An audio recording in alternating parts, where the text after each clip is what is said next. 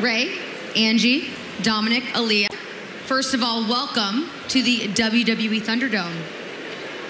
Now, you all look amazing as usual. Of course, nothing less expected. Rey, I want to start by asking you if you have any type of recovery update on your torn triceps.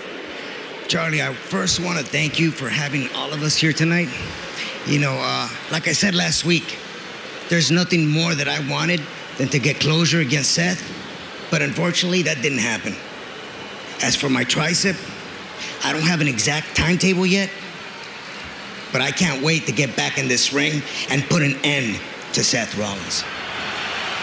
Well, Rey, I know I speak on behalf of the entire WWE universe when I say we cannot wait to see you back competing inside the ring. But as for your son Dominik, did you give him any words of advice as he heads into his match against Murphy this evening? You have no idea how proud I am of my son. You know, Dominik knows exactly what he needs to do tonight against Murphy. We know, we know Murphy wants vengeance, and that makes him dangerous.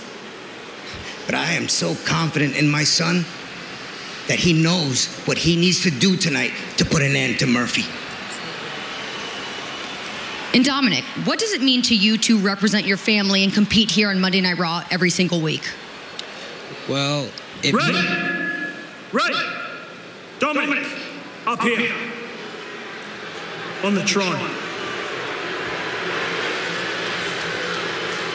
Let me answer that question for you, Dominik. You should feel awful.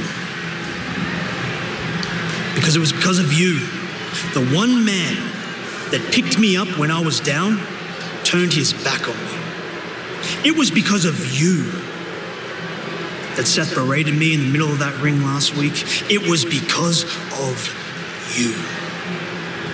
That The Monday Night Messiah wants nothing to do with me. Murphy, it is not our fault that you chose to pledge your loyalty to an evil, selfish son of a bitch like Seth Rollins. You reap what you sow. You're right, Rey. You're right. But I see clearly now. See, Dom has a bright future here in WWE. But the ultimate sacrifice will be to end it before it begins. See, last week Dominik wants to hit me from behind and show fight. Well, let's up the ante tonight. So, Dominik, I challenge you to a street fight.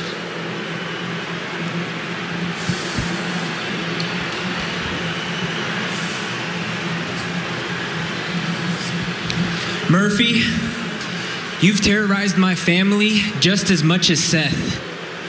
So tonight, I'm more than willing to embarrass you again in front of your Messiah.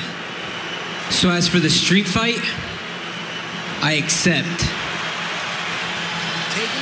Well done, Dominik. Well done.